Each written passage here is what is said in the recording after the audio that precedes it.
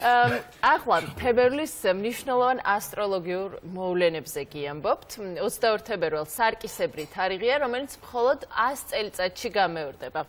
22.02.2022. რას ნიშნავს ეს ყველაფერი ნუმეროლოგიის მიხედვით? რა არის ანგელოზური თარიღი, რომელიც ერთი და იმავე ციფრის სამ კომბინაციას ეწოდება და ზოგადად როგორ უნდა მოვემზადოთ თებერვლისთვის და აღმოსავლური ახალი წლისთვის, რომელიც ახლა დადგა ასტროლოგი ქეთი ოდიშელი გვიაყობს. გამარჯობა. გამარჯობა. მოგესალმებით. ბარომ გვესტუმრეთ. მადლობა თქვენ.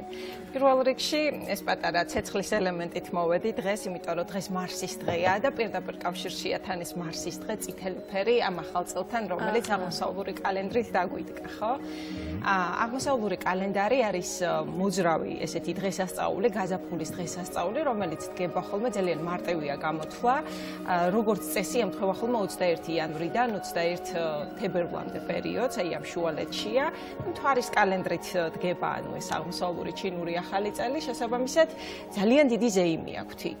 და გარკვეული ესეთი მითოლოგიური პერსონაჟი ყავთ, რომელსაც ქვია ნიან, ეს არის ურჩხული, რომელიც ესე ცნობილი იყო, რომ ყოველ წელს, ანუ წელს ნიშნავს სინამდვილეში. და ყოველი წლის შემოსვლასთან ერთად მიქონდა დიდი მოსავალი, რომელსაც ანადგურებდა ფაქტიურად და ერთ ორ ადამიანსაც გაიყოლებდა ხოლმე. და ესე ანუ ბოროტი კი, კი, და ზუსტად ამ ურჩხულის სიმბოლიზაცია, ასე ვთქვათ, წელი დრო მიყავს ადამიანები და ზუსტად აქედან გამომდინარე შენიშნეს ერთხელაც, რომ ის ბა ბავშვები განსაკუთრებით ბავშვები უყარდაო ასევე და ის ბავშვები რომელიც უნდა წაეყვანა ასე ვთქვათ ერთ-ერთი იყო წითელ სამოსში და წითელ სამოსში რახან იყო ვერ შეეხო ამ ბავშვს და აქედან უკვე არის ტრადიცია რომ წითელი ფერი მას აშინებს. აა და აი აქედან მოდის ტრადიცია? რა არის მნიშვნელოვანი ამ დროს? რა უნდა გავაკეთოთ? არ ვიცი რიტუალები? რიტუალები ნუ ძალიან აღმოსავლური კულტურა ზოგადად ძალიან დატვირთულია ამ სიმბოლიზმით რიტუალებით ხო? და აი თუნდაც ეს ფერების ელემენტი ძალიან ისი აქტუალურია. წითელი ფერი ყოველ წელს მიუხედავად იმისა რა სიმბოლო დადგა რა ფერის სიმბოლოა რომელი სტიქიის და ასე შემდეგ. ძალიან საინტერესოა აღმოსავლურ კულტურაში რომ შემონახული აქვს აი აღმოსავლურ ასტროლოგიაში ციკლურ კულტურობის ელემენტი უფრო მეტად ვიდრე დასავლურ კულტურაში, იმიტომ რომ აი დროის ვიცით დრო ჩვენ მარტო განზომილება დროითი, მეტი არ ვიცით, ხო? აი ძველად მე-16 საუკუნემდე მაგალითად იყო სამი დროის იპოსტაზი. და ერთ-ერთი ამ დროის გარდა ქრონოსის გარდა იყო ციკლურობა. ციკლურობა რას ნიშნავს? ახლა ნახეთ მარტივად 12 წელია, 12 ზოდიაქოს ნიშანია და აქვს ხუთი სტიქი აღმოსავლურ ასტროლოგიაში ასე არის ხუთი სტიქია, ცოტა განსხვავდება კლასიკური სტიქიებისგან და ამ ხუთივე სტიქი ჰიერარქიაში უნდა მოიცვალოს ადგილი თითოეულმა ზოდიაქოს ნიშანმა. და აი ამ ციკლში ვართ ჯერჯერობით დაწყებული 1984 წლიდან დასრულდება ეს ციკლი 2054 წელს. ამდენად ძალიან საინტერესოა და დღესასწაული 15 დღის განმავლობაში მიმდინარეობს.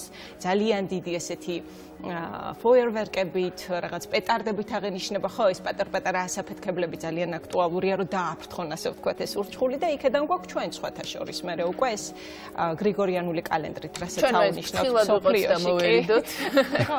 და ამიტომ აი 15 რიცხვამდე აქტუალურია ეს მანდარინები მიაქვთ, იმიტომ რომ ოქროს სიმბოლიზაცია, როგორც მეკვლე ყავს, ხო, ჩვენ მათ მაგალითად ესე მანდარინები მიაქვთ და წითელი კონვერტებია კიდევ აქტუალური.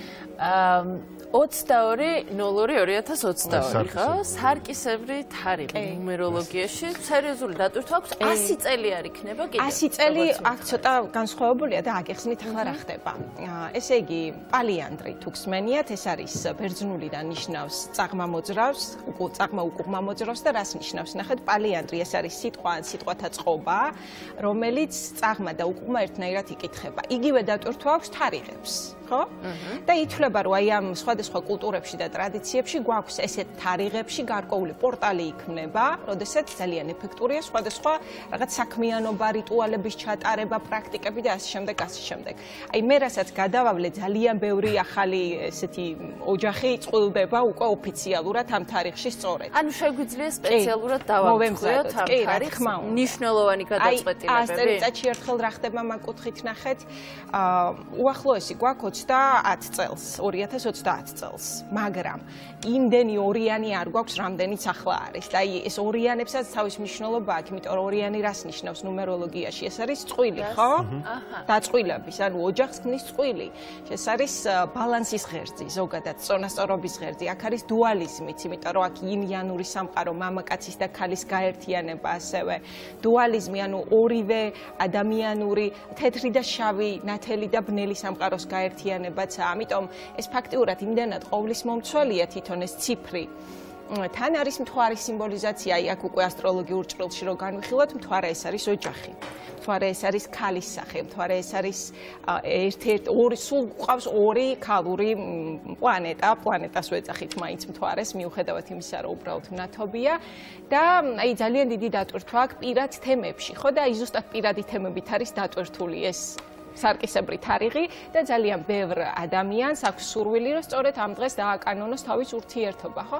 გარდა ამისა, თვითონ პრაქტიკების კუთხითაც, აი სურვილების ასრულების კუთხითაც ძალიან ეფექტურია თუ კონკრეტულად პირად თემასთან გავაკეთებთ, ასე ვთქვათ, ჩავიფიქრებთ, მაგრამ აქ არის პრობლემა გარკვეული ციური მდგომარეობიდან გამომდინარე, საჭირო არის ნაჩქარები გადაწყვეტილებები არ მივიღოთ. ანუ ეს კავშირი არ უნდა იყოს სპონტანურად მიღებული, იმიტომ რომ აი დღეს მოდი ესე მოვიქცეთ, არა, ეს უნდა იყოს ნაფიქრი და ეს უნდა იყოს სტაბილური გადაწყვეტილების შედეგი, ასე ვთქვათ, ხო? მოტანილი დროის. ზოდიაქოს რომელიმე ნიშანს თუ გამოყოფთ, რომლისთვისაც განსაკუთრებით პოზიტიურია, ან ფრთხილად უნდა იყოს, ან არის თუ შეგვიძლია ესე? აა განსაკუთრებით საფრთხილო, ესე მოდი ზოგადად მოვერიდები, იმიტომ რომ თითოეული ზოდიაქოს ზოდიაქოს ნიშანიც იმდენად რთული და რთულად დატვირთული სისტემაა, იმიტომ რომ ზოდიაქოს ნიშანი ის არ არის თითოეული ადამიანი. თითოეული ადამიანი მოიცავს ძალიან ბევრ ზოდიაქოს ნიშანს, სიმბოლურად და შევდგებით ელემენტარულად ბევრი ნიშნისგან. ამიტომ არ იქნებოდა სწორი გამოგვერჩია, თუმცა შედარებით საფრთხილოა ეს პერიოდი. ეს მოდი ესე დავარქვათ კურო მორიელის ღერძისთვის.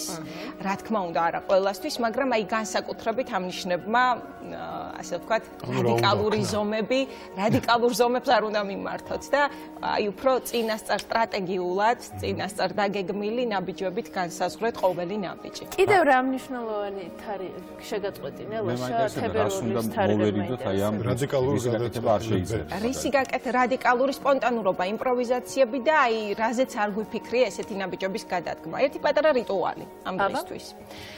შეგვიძლია ავიღოთ 6 ფურცელი და რატო 6? იმიტომ რომ 6 ორიანი გვაქვს. და თითონ ექვსიანი სიყვარულის და ჰარმონიის ციფრია.